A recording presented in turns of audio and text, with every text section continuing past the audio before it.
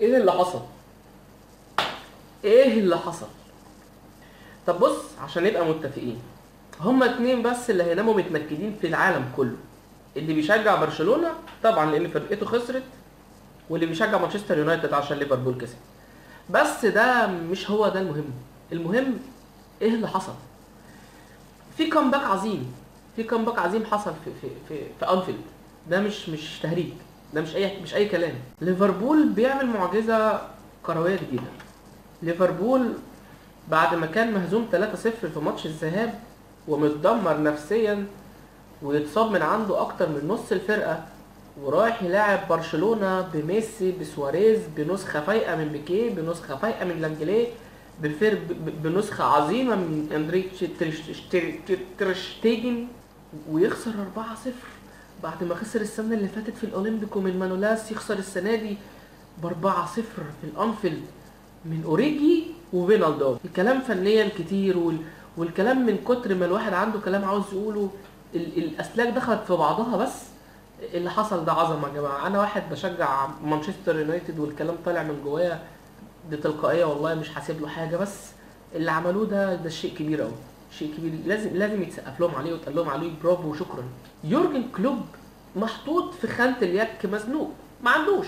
يعني على قد لحافك مد رجليك حرفيا. يعني هو لو حب يفتي مش هيعرف يفتي. هو الفتيه اللي فاتها الماتش اللي فات لبسته كتير. هو كل اللي عمله الماتش اللي فات إنه شال أرنولد من التشكيلة وحط مكانه جوميز ضغط الفرقة ولبس ثلاث اجوال المرة دي قرر إنه ما يعملش كده وقرر إنه يبتدي بالسهل جدا. تشكيلة ليفربول كانت أليسون بيكر في حراسة المرمى قلبين دفاع ماتيب وفان وفان دايك على الشمال روبرتسون على اليمين أرنولد ثلاثة في نص الملعب فابينو وميلنر وهندرسون وثلاثة في المقدمة شاكيري وماني ومهاجم وحيد أوريجي. على الناحية التانية أرنستو فالفيردي ابتدى بتير شتيجن في حراسة المرمى قدامه بيكي ولانجلي على الشمال جوردي ألبا على اليمين سيرجيو روبرتو قدامه بوسكيتس وفيدال وراكيتيتش وثلاثة في خط الهجوم سواريز كوتينيو ليونيل ميسي. خلينا اتكلم معاكم في نقطة معينة مختلفة شوية يمكن البعض يشوفها عني غريبة لكن هلحق نفسي في آخرها بس. أنا دايما بقول إن المدرب اللي بيبقى ما عندوش لعيبة أو عنده لعيبة كتير جدا بس بس مصابة ونازل وهو مضطر يلعب بتشكيلة معينة ده بيبقى خالي من الضغوط. بالظبط زي اللي حصل مع يورجن كلوب دلوقتي. يورجن كلوب سلاحه الفتاك الهجومي هو الثلاثي ماني وفيرمينيو وصلاح فجأة يطير منه ماني فجأة يطير منه صلاح وفيرمينيو. وبقى مضطر يلعب بأي اتنين على الدكة. و- وطار منه واحد من لعيبة خط النص اللي كان معتمد عليهم في الفترة الأخيرة وبدأوا يجيبوا جون والدنيا بدأت تمشي معاهم وهو نبي كيتا فجأة كل العناصر دي راحت منه وبقى مضطر على تشكيلة معينة. هل تعتقد إن هو لو لعب بأي حد وخسر الماتش ده أنت نفسك كمشجع ليفربول هتيجي تلوم عليه؟ ما أعتقدش إنك هتقدر تلوم تلوم عليه بل بالعكس أنت هتقول له شكرا كتر خيرك ما عندكش أي إمكانية إنك تكسب ليفربول.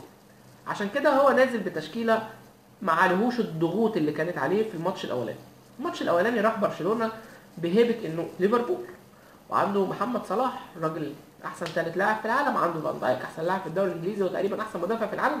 فالهبه والنخوة خدته إن أنا أقدر أكسب برشلونة في برشلونة وراح الأمور ما ساعدتوش وخسر. النهارده كان بيلعب قدام ليفربول وهو معفي ومتشال من عليه الضغوط ولعب باللي عنده.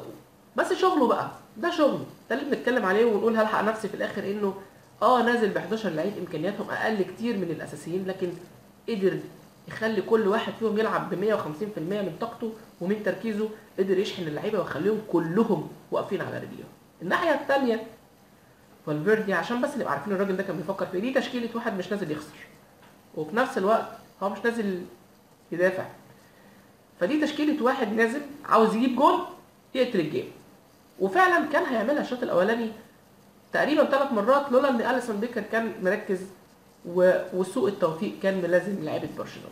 بس بمنتهى الأمانة هو لو في شيء لازم يتقال فهو إن فالفيردي ده قبل ما ينزل من الطيارة يكون كاتب استقالته وماضيها وبعتها لكل الناس في برشلونة لأنه لو نزل برشلونة هيتقتل. لأني مش قادر أفهم يعني إيه راجل بحجم فالفيردي بيدرب فرقة زي برشلونة عارف إن أنت لما بتكون رايح بأسبقية بأكتر من هدفين يعني أنت رايح وكسبان 3-0 فالفرقة اللي قدامك مطالبة إنها تجيب فيك على الأقل 3 أجوان فالطبيعي السيناريو النموذجي تلاقي فرقة عاوزة تكسب أكتر من 3-0 إنها تجيب جون في أول ربع ساعة.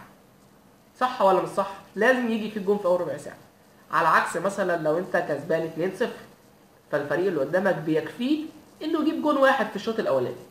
لكن انت لما تبقى فرقة كسبان 3-0 فالسيناريو النموذجي ان يجي فيك جون في أول ربع ساعة فانت لازم تقفل في أول ربع ساعة تهمد اللي قدامك في أول ربع ساعة نايم الجمهور المتعصب ده. لكن مفيش ما عملش كده لبس جول في أول ربع ساعة فعلا بعد سبع دقائق بالظبط. بعد أربع دقائق كان هتتش جول اتلعبت بالعرض وشالها جوردي ألبا قبل هندرسون بالظبط لكن بعد سبع دقائق نفسه جوردي ألبا يغلط غلطة شنيعة بهجمة مرتدة تترد وهوب أوريجي يجيب الجون الأولاني بعد سبع دقائق والملعب يولع. والشوط الأولاني يخلص 1-0 بأفضلية نفسية لليفربول اللي حس إن ده برشلونة سهل. ده مش برشلونة. ميسي مختفي. مش مختفي الاختفاء اللي إحنا عارفينه لكن لما نيجي نقول ده ميسي يا جماعة يبقى ده مختفي. لكن تعالى بص معايا على لعيبة ليفربول في ال second ball كانوا بيعملوا إيه؟ في الكرات المشتركة كانوا بيعملوا إيه؟ حرب. كل كورة لا أنا هموت عليها.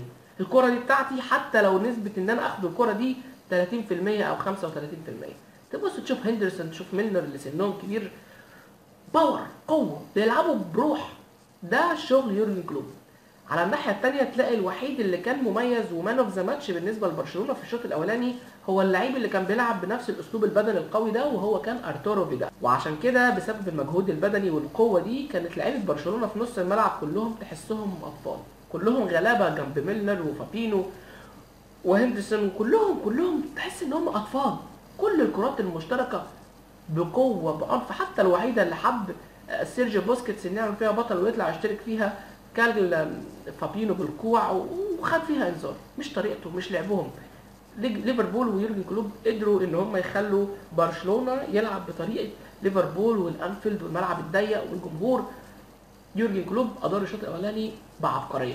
نخش الشوط الثاني بكارثة جديدة. ساعتها كانت كارثة لكن رب ضاره نافعة. الموضوع ما كناش نعرف إنه هيبقى بالجمال ده. إصابة ال back left أحسن لا أحسن back left في العالم آخر سنتين. روبرتسون لاعب ليفربول. ويضطر إن يورجن كلوب يرجع ميلنر الجوكر بتاعه اللي بيلعب في كل حتة في الملعب إنه يخليه back شمال وينزل فينالدوم في نص الملعب فينالدوم في دقيقتين جولين. حاجة غريبة عجيبة أكتر من اللي كان بيتمناه يورجن كلوب. أنا لما كان يورجن كلوب كان السيناريو بالنسبة لي إن أنا في أول 10 دقائق أجيب جول وتبقى النتيجة محتاج لي هدف في في الشوط الثاني كله. لكن إني أجيب جولين في 10 دقائق من التغييرة اللي أنا لسه منزلها حاجة يعني أكتر من الممتاز. ما اتوقعش إن ولا أحب إن أنا يبقى السيناريو بتاعي أفضل من كده. نفسيا لعيبة ليفربول واقفة على رجليها. أرنولد على اليمين عامل شارع شاكيري عامل شارع ماني كان حر أوريجي كان حاسس بنفسه واقف في وسط لينجليه وبيكيه اللي رغم إن هما الاثنين السنة دي الموسم بتاعهم الاثنين كويسين جدا لكن أوريجي ظهر ليورجن كلوب من السماء ما تعرفش جاله منين؟ راجل متألق الحقيقة. ونيجي بقى للجول الرابع الكارثة. يعني حاجة فضيحة بصراحة. يعني حتى سواريز بعد الماتش لما بيقول الهدف الرابع اللي دخل فينا هدف طفولي هو الطفولي انكم تبقوا واقفين الوقفة الزفت دي. ان يبقى ارنولد على الركنية ويعمل نفسه رايح يمشي عشان يجيب حد غيره يلعبها فكل لعيبة برشلونة تدير بوشها وكله يبدأ يوجه وكله يعمل ريس. المركب مره ريس المركب اللي فيها ريسين بتغرق ما بالك فيها تسعة رؤية واقفين في ال 18 فهوب يرجع ارنولد بسرعة ويحطها من مرة واحدة لأوريجي اللي واقف في وسط ثمان مدافعين لبرشلونة ويعمل ال comeback العظيم ويحط الجول الرابع. الجول الصدمة لكل العالم. الجول الصادم لكل اللي كان بيتفرج لكل اللي كان في الملعب اللي قدام الشاشات. ليفربول عمل comeback عظيم وخرج برشلونة من دوري الأبطال بفضيحة وأقل ما يقال عليها إنها فضيحة. لكن لازم الواحد يقول ليورجن كلوب أنت أنت مدرب كبير. مدرب كبير حقيقي يعني. بأقل الإمكانيات قدر إنه يعمل في خلال سنتين فرقة تخوف كل أوروبا وينافس على الدوري الإنجليزي.